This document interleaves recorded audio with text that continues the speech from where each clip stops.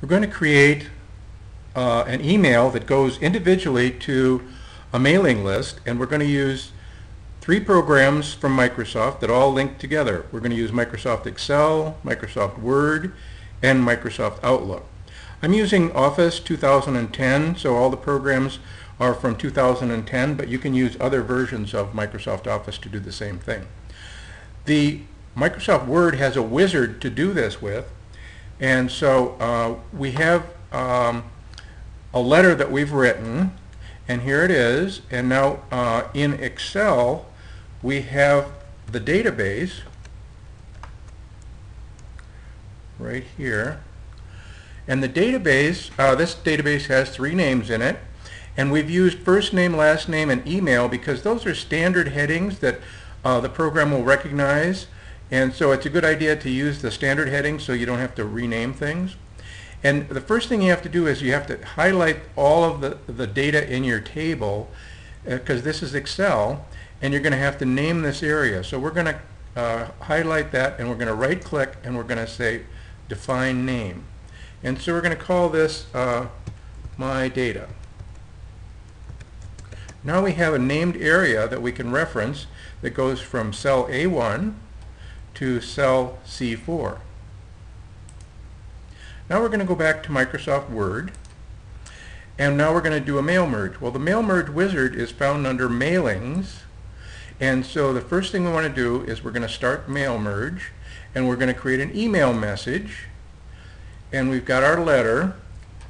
We're going to select the recipients. Now we've got our existing list which is in Excel. So uh, that list, I've kept that in Dropbox in uh, the class file for this class, Outlook class. And we're going to go get it. It's called My Mailing List.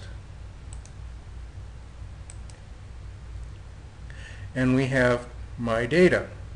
So that's the reference we're going to use to get the data. Now we're going to uh, insert name fields. So we're going to say hi, we're going to say hi to, we're going to insert the first name. And notice the brackets. So in between the brackets, that field is going to be filled from the database by the appropriate information uh, for that particular person. And then we're going to hope all is well with you and the last name, we'll put that in here.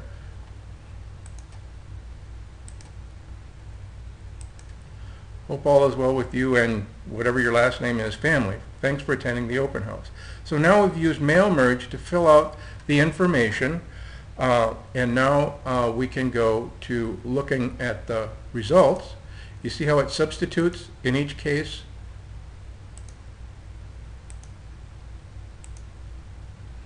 So we can go through and check all of them, make sure they're all right. And now we can do finish and merge. And we're going to send an email message. So we've already used the, the heading email, which is the correct heading. And uh, we're going to have a subject line. Uh, thanks for coming to the open house. So that's the heading that's going to show up in their email message. It's going to be an HTML message. We're going to merge all the records and we say OK. And now all those things, because Outlook was open in the background, all of those messages were sent and we can go to Outlook and look in our sent file and here they are. One, two, three. Okay?